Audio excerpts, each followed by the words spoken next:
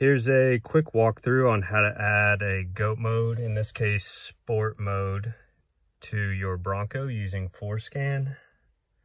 Uh, once you have your cable and your Forscan account and you're all connected, uh, this is the master spreadsheet here. You can see I'm going to add change a goat mode.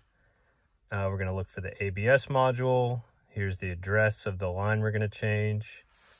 And the little star is the character that I need to be a B to enable sport mode.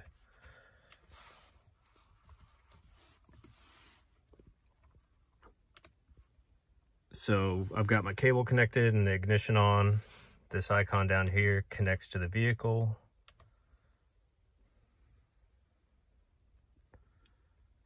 Uh, do I want to load a profile? No, I've saved it previously. You always want to save your profile just in case something goes wrong. You can go back and undo it. So here's all the modules it's finding, uh, all the all the little computers. So now it's going to ask if you want to save.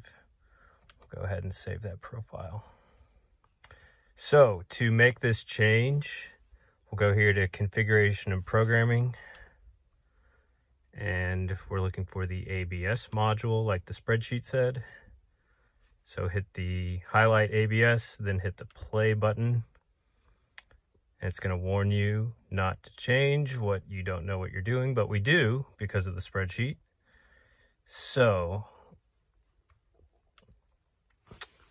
address 760-04-03 and we need the third to last character to be a B. So 760-04-03. And I've already made this change. So AB1F, that B right there is what gives me sport mode. So